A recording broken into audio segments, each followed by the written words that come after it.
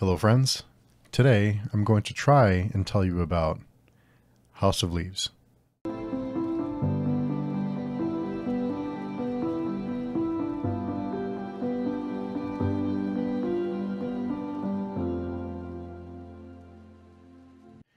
So, before we get started on trying to talk about House of Leaves, I think it's always important to remind everyone, or for those of you who are new here or new to my reviews slash let's talk about videos, on how I structure them.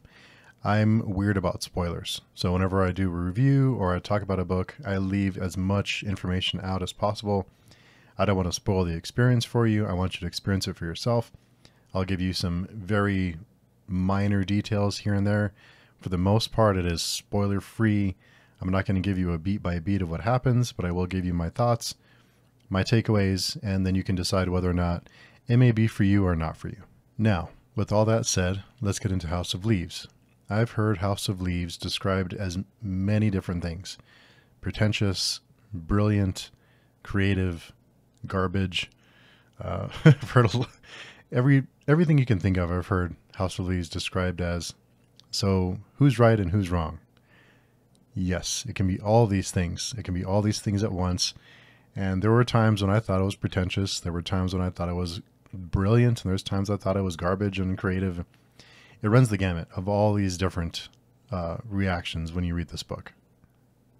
So let's also discuss how you read House of Leaves because it's different than any of the book I've read. I mean, I haven't read that many books, but it is very unique. So in the book, when you flip through it, you'll see a lot of pages that are have weird text on them or no text at all, weird layouts, and you think, what the hell is going on here? What's going on with this book? Is there something wrong? Did I get a, a print error? What, what's what's happening here?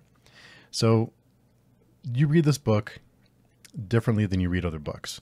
So what happens is when you read this book, on the bottom there's some footnotes, and these footnotes will direct you to the the back, the appendix, and the exhibits section which is about the last 120 pages or so of the book. So way back here, the exhibit section begins and it'll reference articles, it'll reference letters, it'll reference exhibits, photographs, scientific articles. I mean, there's a ton of different stuff.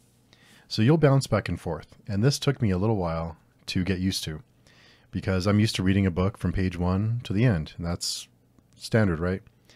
This book, sometimes I would sit there and read and my page count would only go up 30 pages because I spent a lot of time reading stuff in the back or other I would jump back and forth and I would be reading for a long time but I didn't feel like I made any progress. I just felt like I'm like walking through mud. So it took me a little while to get into a rhythm, into a groove of how to read the book. I think that was a big part of it is how do I read this book? How to, I kind of had to get a hang of, of like a rhythm going. And that took me a little while. It took me about 200 pages or so to really feel comfortable in how to read this book. And I have before I started House of Leaves, I know that there's some people that don't read the uh, the footnotes. They don't go into the appendix. They don't go into the exhibits. They just read the story from front to back. And I thought about doing that because it sounded like a lot. But I am so glad I did not do that. And if you're thinking of doing that, I would highly, highly suggest do not do that. You, you will rob yourself of this experience of reading this book. And it is it, this is a classic classic example of this book is not for everyone because some people absolutely hate this book and some people love it and some people think it's okay or whatever. There's there's either it seems like there's either one side or the other. So what is House of Leaves about? In a in a nutshell, it's about a house that is a different size on the inside than it is on the outside. And it goes from there. There's two different storylines that we follow, but there's a ton of information. You learn so much about these characters, about their families, about their history, more than you'd ever think you know. Not only about the characters, you also learn about uh, other facts. I'm not, I'm not going to get into spoilers, but there are some articles, like scientific articles about specific specific topics, that go on for a little too long sometimes, and they get kind of annoying because you learn about a certain topic and you think this is kind of neat. And then 20 pages later, you're like, okay, this is enough. it's like, I've had enough. Let's move on.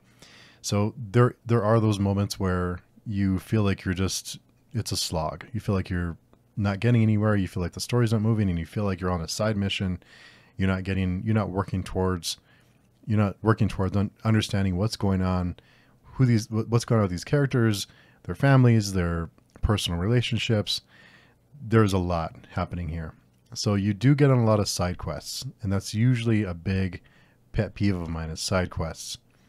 But here, the the strange thing about House of Leaves is when I was reading it, I was frequently annoyed. I was, I was, I was annoyed a lot of the time because I would, I would be reading these these articles about these scientific articles or these letters or these other weird topics, and I thought this is like oh, this is so annoying.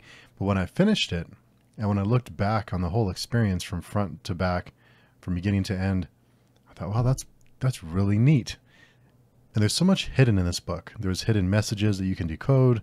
There's little markings on the pages that you can you can look for and find that have meaning. I mean, there's just a ton of stuff. I mean, I've I read it from front to back, but I feel like there's so much more I can I can find if I really dig through this book. This is the kind of thing that you want to read. You want to read it every so often because you know you're going to find more and more and more. And when I say coded messages, is I mean there's coded messages. There's there's letters that you can decode to find uh, really creepy, really creepy messages in it. Uh, the book itself isn't too scary. I think there are some really eerie and creepy moments, but it sounds silly. But in the back, where there's some really strange text, uh, and the text looks really weird, like on the corner of the page, right there, and it, it looks like a gimmick. I thought it was kind of gimmicky at first, but when you're reading the story, the text does a great job of immersing you in what's happening. And it, it sounds it sounds goofy, I know, but it really works. and while it worked for me, I know it won't work for everyone. This is a book that just some people just don't take to, and that's okay. Uh, this is, like I said, a classic example of it's not for everyone. Some people really love it. Some people really hate it. It's, uh, it's it seems like a hot, it's a hot or cold kind of thing. If you are thinking about reading this book, my biggest suggestion would be to take your time. Don't rush through it. Take your time, enjoy it. Look at the appendix, read all the read all the articles, read all the letters, read all look at all the exhibits.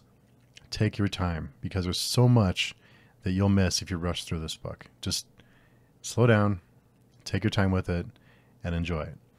We had a group read for this book back in October for Halloween, and on Halloween Day we had a discussion with Ashley from Read Now Sleep Later and Lauren from Paperback Empire, and we talked for a good two hours there's so much that I did not catch that Lauren caught or that Ashley caught, and it, there's just so much in this in these pages. There's so much in this book that it's, it's when I'm so glad I read it with the group because there's so much you want to talk about when you're done.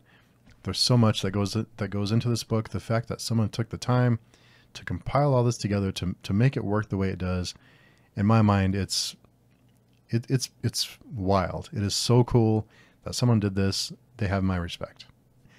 And it is a book I will be reading every October and have a discussion on every Halloween day for as long as I'm doing this booktube thing. So uh, if you're interested in, in reading it with us in October of 2022, you have quite a while to plan.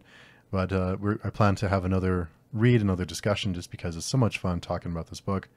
And like I said, when you look back at the entire experience, it is worth it, in my mind. Now, not everyone agrees, but if you are curious about this book, I would say read it, give it a try, stick with it, give it a good give it a good chance because I think it's worth it. Uh, it was worth the read. It was worth the really annoying and pretentious articles. Uh, it was it was worth the journey for me. Now, not everyone will agree with that, but I would say try it out. Just give it a shot.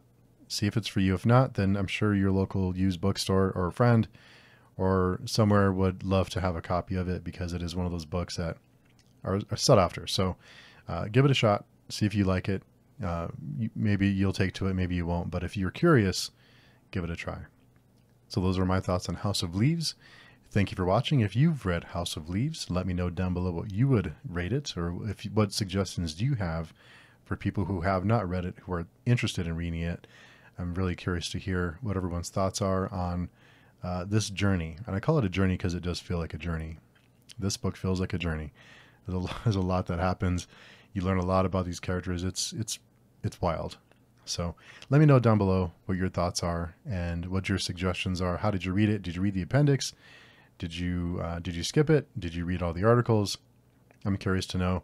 And everyone seems to have it, it, when you finish it, you feel like you're part of a club. Like you feel like you're part of a of a group that said, you know, I, I finished House of Leaves. So if you're thinking about reading House of Leaves or if you've already read it, I hope this video is helpful. Until next time, I will talk to you soon.